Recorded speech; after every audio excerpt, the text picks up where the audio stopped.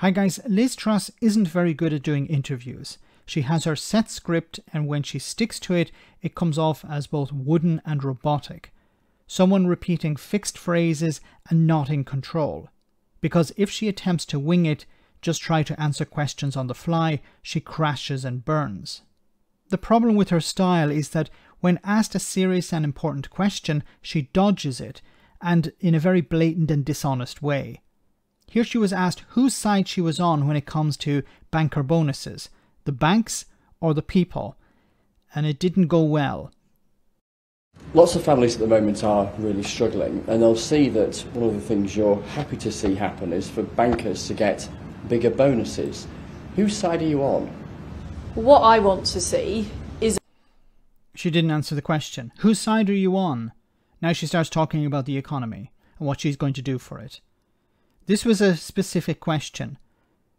One of the things you're doing is you're ending the cap on banker bonuses. Now, I think this is a political decision. I don't think it's an actual economic decision. It's not actually going to really change anything, but it's throwing some sweeteners to the banks, to the donors, to the very rich people in, society, saying, We are on your side. We didn't have to do this. It's not going to really help you. And what I, what I mean by that is the way around this cap, this limit, was that banks were just paying their staff more.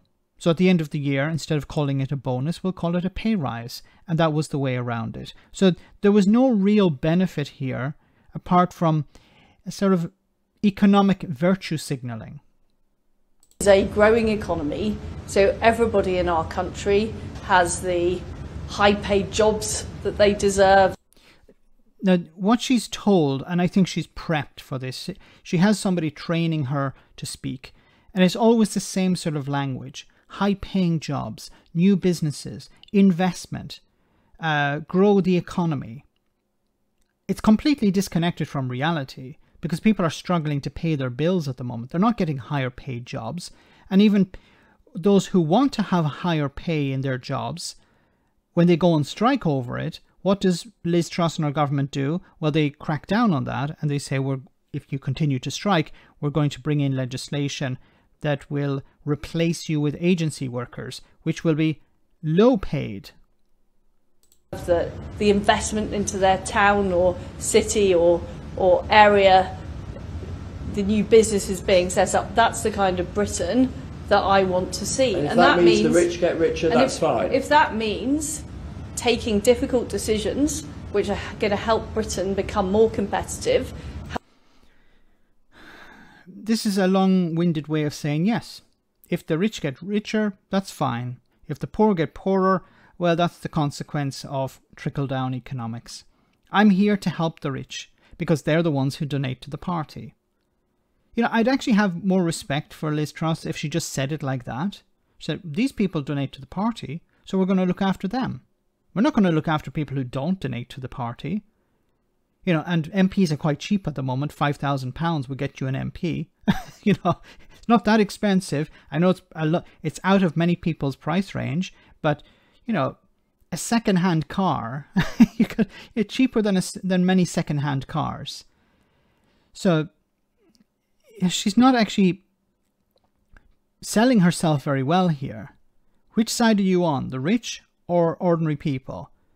And she tar- started talking about the economy. Then when she's pushed on it, the rich get richer and the poor get poorer. Is that a price you're willing to pay? And she says yes. Help Britain become more attractive, help more investment flow into our country. Yes, I'm absolutely prepared to take those decisions because what I care about is I care about our country being successful and everyone in our country, wherever they live, wherever they're from, having those opportunities. What opportunities? There are no opportunities. There is a recession coming. I would love for her to be challenged on this. What are these opportunities you're talking about? You're willing to do unpopular things if you think it can contribute to, to a bigger economy. That, that's right. And I will always work to make sure that we are helping those who are struggling. That's so I'm going to help those who are struggling by by first and foremost ending a cap on banker bonuses Is anyone convinced by this? Is anyone still convinced by this? Some people were convinced by it. Is anyone still convinced by this? Does anyone think, yeah, Liz Truss is on my side. I'm not a banker. I'm not earning, you know, four or five million pounds a year. I'm not going to get a bonus of hundreds of thousands of pounds. Uh, but I, I, think it's important that we do allow these bankers to get these bonuses. And I think it's important that she's focusing on this first. A cost of living and energy bills and everything second. No, first and foremost, we must focus on the important people in society. The ones who are earning massive bonuses. And then what do they do with that money? Well, they buy Ferraris with it or they shovel it into an offshore bank account. That's why we took the action that we took on energy bills, because we didn't want to see households facing unaffordable bills. Unaffordable, you don't want households facing unaffordable bills, but that's what's happening. People are facing unaffordable bills. The price cap is at 2,500 now. It was 1,971. If people can't pay the bills now, how are they going to pay at a higher cap? Now, hopefully prices will drop, but I don't know if that's going to be passed on to the consumer. That's the problem. The wholesale price may drop, but it's not passed on to the final user of that gas or electricity. Liz Truss, once again, demonstrating that she should be nowhere near the levers of power. And I've said this before the problem is that Liz Truss is now surrounding herself with people who believe it's a wonderful idea. These right wing think tanks, these are the, her advisors at the moment. They're saying it's a wonderful idea to uh, deliver tax cuts to the mega rich. It's a good idea to lift this cap on banker bonuses. It's a good idea to privatize the NHS. It's a good idea to crack down on trade unions, make it make it impossible for them to operate. And if they do go on strike, we'll replace them with agency workers. These are the people advising Liz Truss at the moment, and Liz Truss is probably, and you know, I I'll take this back if I'm wrong, but probably worse than Boris Johnson, because she's easily manipulated.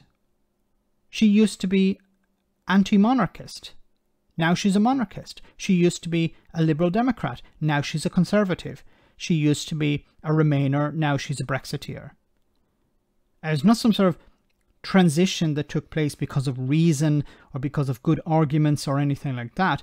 It was clearly political and it was a, about benefiting her career.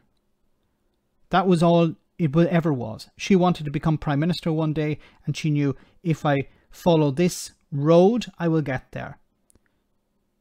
Does it mean sacrificing my beliefs, my principles? Well, I don't actually have any to begin with, so there's nothing to sacrifice. Let me know in the comment section, guys, what you think about all of this. As always, your comments are greatly appreciated. Thanks a lot.